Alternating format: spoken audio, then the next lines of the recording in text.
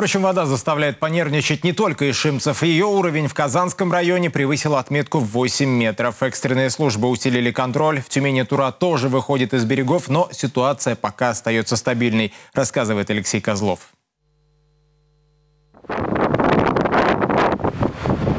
Уровень воды в реке Ишим достиг предела нормы. В Казанский район направили части аэромобильной группировки МЧС. Пожарные спецтехника прибыли на место, чтобы контролировать ситуацию, укреплять берега и прочищать водопропускные трубы в случае засорения.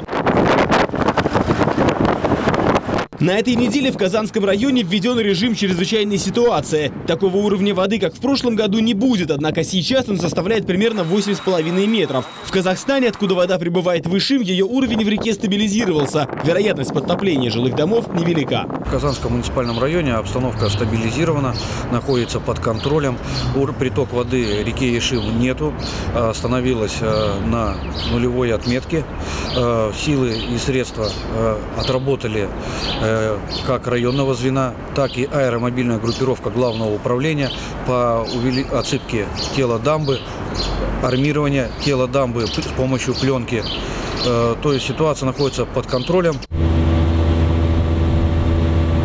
В Тюмени экстренные службы каждый день следят за уровнем воды. Сейчас он находится в пределах нормы, но пока цифры ползут вверх. Сейчас поднимается. Вот последние два дня э, было вчера на 6 э, сантиметров поднялась, сегодня на 5 сантиметров.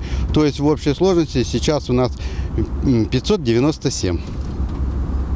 А прогноз э, Тюменского центра по гидрометеорологии и матер... мониторингу окружающей среды уровень воды э, в реке Тура ожидается ну, 700-800 сантиметров. Год назад предельный уровень на Туре достиг 915 сантиметров. Ситуация начнет меняться через неделю, ожидает в МЧС. Если не будет обильных осадков, то вода с берегов начнет плавно уходить. Алексей Козлов и Сергей Жернаков. Тюменское время.